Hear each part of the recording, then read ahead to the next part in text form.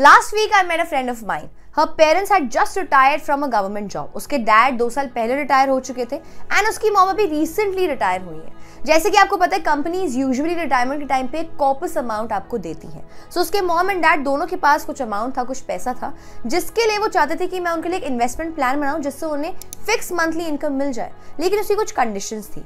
पहला stock market जैसा risk नहीं होना चाहिए। सेकंड हर महीने या हर क्वार्टर में उनके बैंक अकाउंट में पैसे आ जाने चाहिए। एंड थर्ड उनके पैसों पे कुछ टैक्स नहीं लगना चाहिए। सो so, मैंने उनको एक senior citizen saving scheme recommend किया।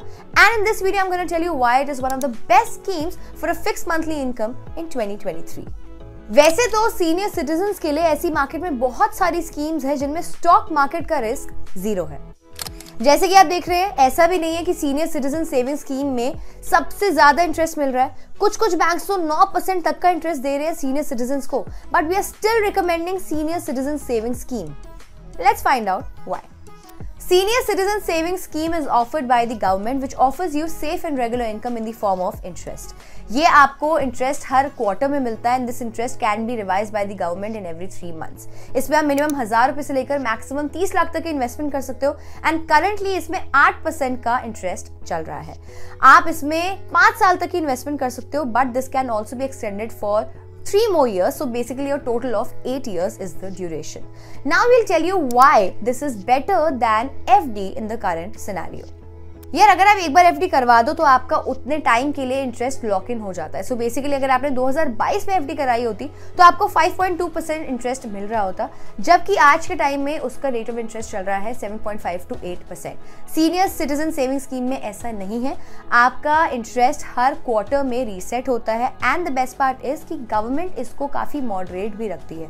सो so जब एफडी का इंटरेस्ट चल रहा था फाइव तो उस टाइम पे स्कीम आपको ऑफ़र करी थी सेवन का इंटरेस्ट एंड जब रेट्स बढ़े तो ये इंटरेस्ट बढ़ के एट परसेंट हो गया. So basically government is taking care of your downside to some extent and you enjoy the upside second benefit is कि आपको इस इंटरेस्ट इनकम पे डेढ़ लाख के टैक्स बेनिफिट्स मिलते हैं अंडर सेक्शन एटीसी एफडी पे आपको टैक्स बेनिफिट्स तभी मिलते हैं जब आपकी एफडी पाँच साल से ज़्यादा की हो. Third factor is that although FDs are considered extremely safe, but what happened in the US उसके बाद I would put FDs under the somewhat safe category. हाँ पाँच लाख तक का आपका आरबीआई सिक्योर्ड होता है लेकिन उसके जो बाद का अमाउंट होता है that totally depends on the bank senior citizen saving scheme में ऐसा कुछ नहीं है. It is a hundred percent government sponsored scheme so आपका पैसा हंड्रेड परसेंट सेफ़ है सिक्योर्ड है. कैसे आप कितना पैसा इसमें कमा सकते हैं स्कीम में वो बताने से पहले I tell you where you can find such schemes what you can do is that you can simply go to Piramal finances blog section देखिए जैसे इस ब्लॉग में इन्होंने काफ़ी सारे एनुटी प्लान सजेस्ट किए हुए हैं। इनफैक्ट यहाँ से एक आइडिया लेके हमने एक वीडियो भी बनाई थी S B I annuity scheme पे। वो वीडियो आप में से काफ़ी लोगों को पसंद भी आई थी। सो so, यहाँ से आप काफ़ी सारे आइडियाज़ ले सकते हो। All right, so coming back to how much you can earn a fix monthly income from the senior citizen saving scheme देखिए इसमें अभी आठ परसेंट के हिसाब से इंटरेस्ट मिल रहा है एंड ये इंटरेस्ट आपको इंटरेस्ट पे आउट आपको हर क्वार्टर में मिलेगा।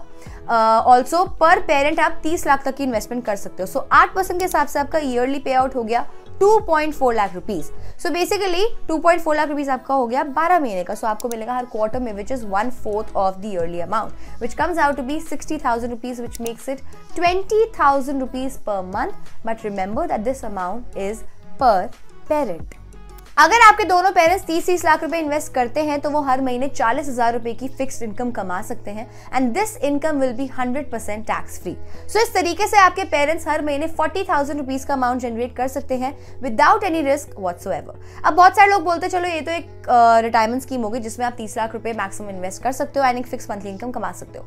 ऐसी और कोई रिटायरमेंट स्कीम है जिसमें आप कुछ पैसा इन्वेस्ट कर सकते हो, हर महीने एक फिक्स इनकम कमा सकते हो without any risk so there is one more scheme by the government called the Pradhan Mantri Vaya Vandana Yojana this is also for people above sixty years of age इसमें आप maximum पंद्रह लाख तक invest कर सकते हो for ten years and you can earn interest income currently इसमें 7.4 percent का interest मिल रहा है which is slightly on the lower side 2019-20 में इसमें 8 परसेंट का इंटरेस्ट मिल रहा था, लेकिन गवर्नमेंट ने उसको कम करके 7.4 परसेंट कर दिया इन आर असेसमेंट गवर्नमेंट अभी कुछ टाइम बाद इसका इंटरेस्ट बढ़ा देगी which is why this may not be the perfect time to go for this scheme but like the senior citizen saving scheme इसमें भी आपको एक फिक्स मंथली इनकम मिलती है with tax benefits and zero risk अब चलो, ये तो बात हो गई उन लोगों की जिनके पास एक कॉपस अमाउंट है and they looking to generate a fixed monthly income out of it but ऐसे भी केसेस हैं जहाँ पर इतना ज़्यादा कॉपस अमाउंट नहीं है and we understand that mostly लोगों के पास इतना अमाउंट नहीं होता। उनके लिए भी हमारे पास ऑप्शंस हैं। इस केस में आप एनुटी स्कीम के साथ जा सकते हो। एनुटी स्कीम में आप केवल 15 से 20 लाख रुपए इन्वेस्ट करके हर महीने 30 से पैंतीस हज़ार की इनकम जनरेट कर सकते हो। ऐसी स्कीम को थोड़ा और डिटेल में जानने के लिए आप पिरामिड फाइनेंस के ब्लॉग्स पे जाके देख सकते हो। उसका लिंक हमने अपने डिस्क्रिप्शन में डाल दिया है। अगर आपके पास कोई बेटर इन्वेस्टमेंट ऑप्शंस हैं तो प्लीज़ हमें कमेंट सेक्शन में बताइए। अगर वो हमें सही लगे तो हम उस पर एक वीडियो बनाएँगे and we'll try to educate you like you always do